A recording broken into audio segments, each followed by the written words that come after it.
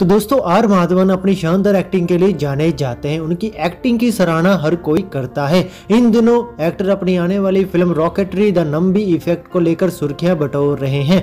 Actor की इस film ने आने से पहले ही खूब चर्चा बटोर ली है। ये फ़िल्म पूर्व वैज्ञानिक इसरो के एरोस्पेस इंजीनियर नंबी नारायण की ज़िंदगी पर आधारित है। लोग इस फ़िल्म का इंतज़ार बेसब्री से कर रहे हैं। इस फ़िल्म के लिए आर माधवन ने जी तोड़ मेहनत की है, जो उनके लुक को देखने के बाद साफ़ पता चलता है। अब फ़िल्म का एक नया पोस्टर जारी किया गया है, जिसमें माधवन का लुक वाकई धमाकेदार है।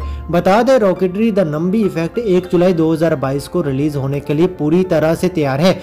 आर माधवन ने इंस्टाग्राम पर रॉकेटरी द नंबी इफ़ेक्ट का नया पोस्टर शेयर किया है। इसके साथ ही उन्होंने कैप्शन में लिखा, एक महान वैज्ञानिक एक सच्चे देशभक्त की कहानी जो पलक झपकते ही खलनायक में बदल गया। फ़िल्म में नंबी नारायण के 27 से लेकर 70 साल तक के सफ़र को दिखाया जाएगा।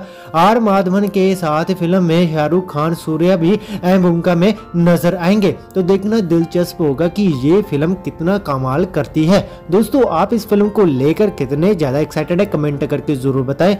वीडियो को लाइक करें, चैनल को सब्सक्राइब करें।